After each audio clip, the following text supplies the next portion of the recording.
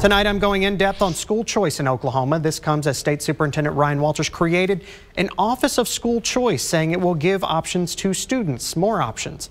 But critics say Walters is just giving free advertising to private schools. At last week's State Board of Education meeting, State Superintendent Ryan Walters made a big announcement. At this department, it will be a one stop shop related to everything school choice. A new office is being created within OSDE that specifically focuses on school choice and the options for Oklahoma parents. What we've seen is continuing to provide more options for parents mean that kids and their parents have a better opportunity at success. Walter says there are multiple groups within OSDE that already focus on charter schools, private schools, and other options for parents. This office will put them under one roof. There's a few states that have these, not very many. So we're excited to be one of the first states to offer this for our parents in the state of Oklahoma. Tulsa Democrat State Representative John Waldron, who was a Tulsa Public Schools teacher for several years, says this new office is more of a political stunt than a necessity. And I'd like to remind uh, Superintendent Superintendent Walters that he is the superintendent for public schools, not for private schools. Private schools can do their own advertising. We've given them $150 million in public money through the voucher program.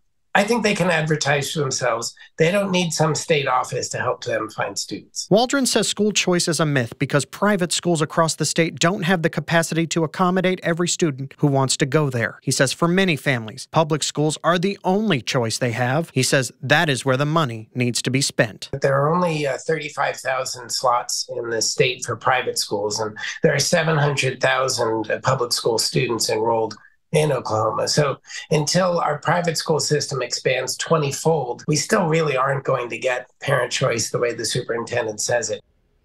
One of the biggest school choice reforms happened last legislative session. State lawmakers passed what they called school choice tax credits to make private school cheaper. You'd include the credit on your annual taxes, and then the money would go to the private school you're sending your kids to. Or if you homeschool, you could get that money back in a tax refund. You might have heard some of them being called vouchers, but vouchers have a negative connotation of public money going to private schools. So lawmakers insisted these were not vouchers, but tax credits. Just listen to how the leader of the state Senate talked about them. By putting the income limit, we were able to raise uh, the value of the tax, tax credit for private schools in order that people who can least afford it can now afford it. But the wording for tax credit has all but gone away now, and now pretty much everyone at the state level, at all state levels of government, are just calling it what it is, a voucher program. The voucher wording played out clearly when Walters announced the creation of the new Office of School Choice. So what we will be doing is moving staff, hiring some additional staff to ensure that whether it's a charter school, a private school, through vouchers or through um, tax credits. So here are the options for school choice in Oklahoma in addition to the public school district you live in. You can use a voucher or tax credit to help cover the cost of private school or you can get a tax credit to partially cover the cost of homeschool. There are also charter schools. And in Oklahoma, there is something called open transfer. You can transfer your child from one public school district to another if they have room, and you don't have to live in that district to enroll in it. A big thing critics of Oklahoma's voucher program point to is the data from the Oklahoma Tax Commission. It says many of the families taking advantage of tax credits already had children in private school before the program was put in place. Critics say vouchers give tax breaks to richer families who don't need it because they can already afford private school. I asked Governor Kevin Stitt about this earlier this year. We knew early on that, yeah, the kids that are there, uh, but if I can change the trajectory of one kid, that's great. And more schools now are starting to pop up because they know that more kids are available. Stitt told me there were still some new families that were able to apply for empty spots in private schools within the first year of the tax credit program. He says the way the system is designed, more money for more families will kick in this year and next year. He believes data will show in the future more families are using the program to switch from public to private school now that they have help. School choice has not always been smooth sailing for Oklahoma. Just last week, the CFO of Epic Charter Schools took the stand against two other members of school leadership during a hearing on possible embezzlement of state funds. State Auditor Cindy Byrd said under the leadership of David Chaney, Ben Harris, and former CFO Joshua Brock, Epic operated as, quote, a pyramid scheme. $69 million was taken by Harris and Chaney as payment and another $145 million was taken by the company under the guise of the student learning funds. CFO Josh Brock said he would, would receive 15 years of probation if he pleads guilty and cooperates with the prosecution. He would be considered a convicted felon under the agreement. A trial against Chaney and Harris is still pending. Joining me now to talk more about school choice is Shaka Mitchell from the American Federation for Children. Shaka, thank you for joining me today. Thanks for having me. Good morning.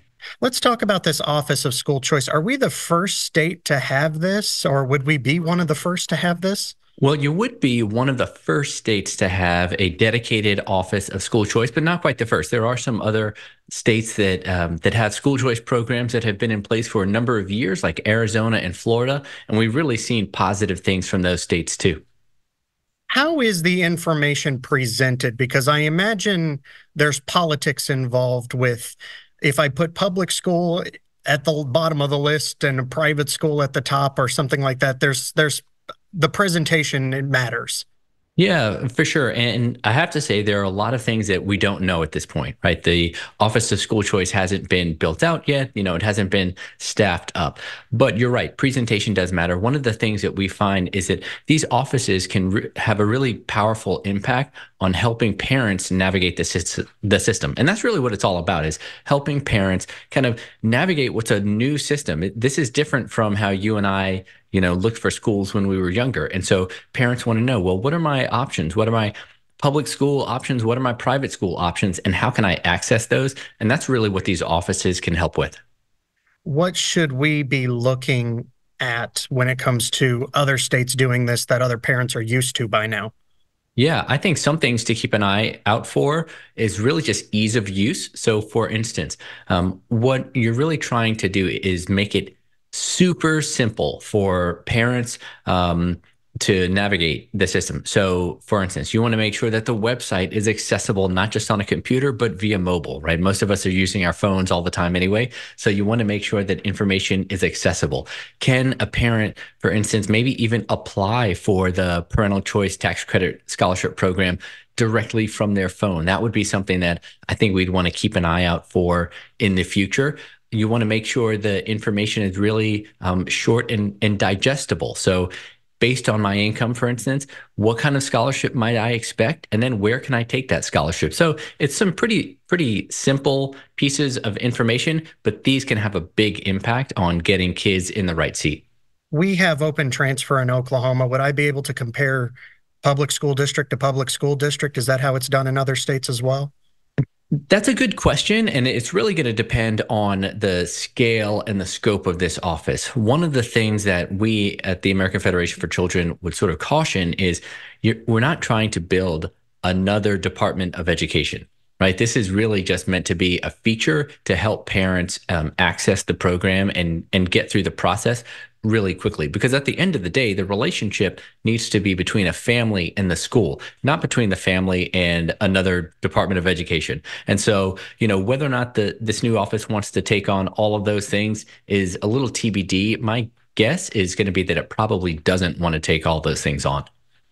Now this hasn't always been sunshine and rainbows. There are some critics to it saying we've invested so much in public school and now we are trying to steer families to another product. Can you address that kind of, uh, I guess, accusation, if you will, that that we are trying to steer families away from the the traditional product? Yeah, I think that when people um, talk about the program in in you know those terms, they really underestimate parents parents are going to find a school and they're going to to identify schools that work best for their kids.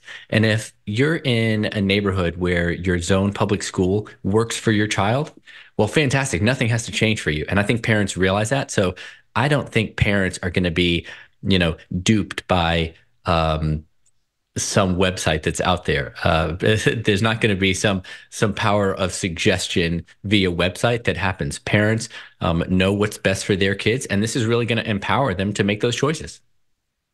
Shaka Mitchell, thank you so much for joining me today on the program. I appreciate it. Thank you.